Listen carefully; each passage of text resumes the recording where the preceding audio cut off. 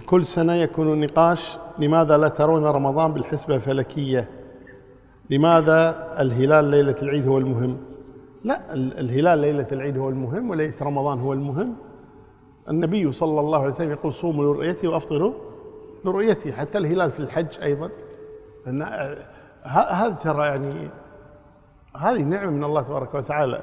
يعني الحساب الفلكي لا يعرفه كل أحد. يعني الحين لو واحد ما عنده ساعة ووسط البر وهذا يعرف التاريخ أو يعرف الوقت ما يعرف. لكن بالحساب الفلكي من القمر يعرف. لكن من الشمس ما يعرف الإنسان.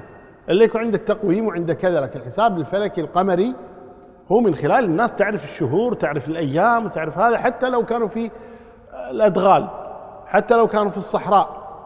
هذا لعامة الناس يستفيدون منه. والنبي صلى الله عليه وسلم يقول صوموا لرؤيته وافطروا لرؤيته. وكذلك الأمر بالنسبة للحج بالنسبة لعدة النساء سواء عدة الطلاق أو عدة الوفاة أو عدة الخلع.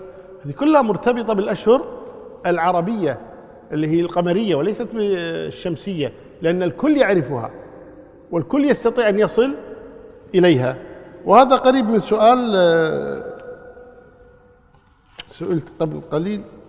آه حطيته هنا يمكن. إيه. إيه. يقول نحن المسلمون في الصين لا توجد رؤيا للهلال دائما يقولون بأن شهر رمضان ثلاثين يوما. فنحن نتبع أقرب دولة إسلامية لنا ولكن انقسم الناس منهم من آه، يقول مع المملكة ومن يقول مع الدولة القريبة. وكيف نفعل؟ والله الظاهر الله العالم يعني آه، يعني القول الثاني وهو القول جمهور أهل العلم أن بلاد الإسلام واحدة. فإذا رؤي في بلد إسلامي فجميع بلاد الإسلام تصوم.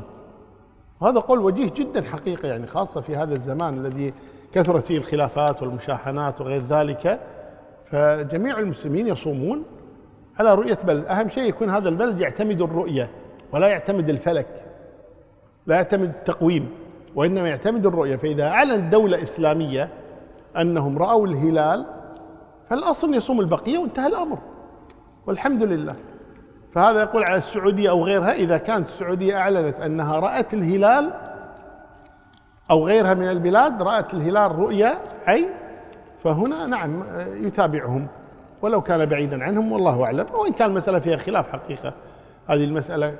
وأنا كنت من أقول في شروح دروس الفقه أن لكل بلد رؤية وكذا ولكن لعل هذا القول أقوى والله العالم خاصة مع كثرة الخلافات بين الناس.